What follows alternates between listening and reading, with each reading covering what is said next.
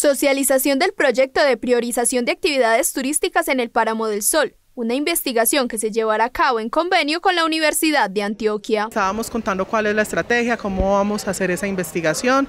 Esta investigación está, digamos, en un convenio entre la Corporación Ambiental de la Universidad de Antioquia y Corpuraba y a través del grupo de investigación vamos a generar pues unas herramientas técnicas para la ordenación del turismo y ese fue el objetivo de hoy, presentar los objetivos, el trabajo, cómo hacer el cronograma y los productos que se pueden esperar de este proyecto.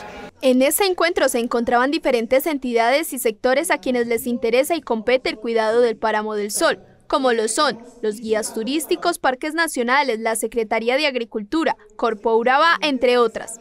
Todo con un mismo fin, realizar un trabajo mancomunado para llegar a acuerdos que favorezcan también lo que se denomina como turismo sostenible. Aquí eh, teniendo en cuenta que se está tomando eh, ciertas... Eh, teniendo en cuenta ciertas cosas para protección del páramo, eh, vamos a ver qué se nos sigue teniendo en cuenta nosotros los guías y a ver qué, qué avances se siguen obteniendo para que de pronto en algún momento eh, podamos seguir desarrollando de pronto el turismo en el páramo o atenernos a las normas que ya radiquen las entidades eh, comprometidas con el lugar. Ya logramos que el, Consejo nos aprobara la Junta Municipal de Turismo, hoy con esta socialización del avance de, que se va a hacer en el estudio de capacidad de carga. Todo esto va a generar que Burrado sea un municipio ordenado en su turismo y que realmente es proteja el medio ambiente y tenga un desarrollo para las comunidades.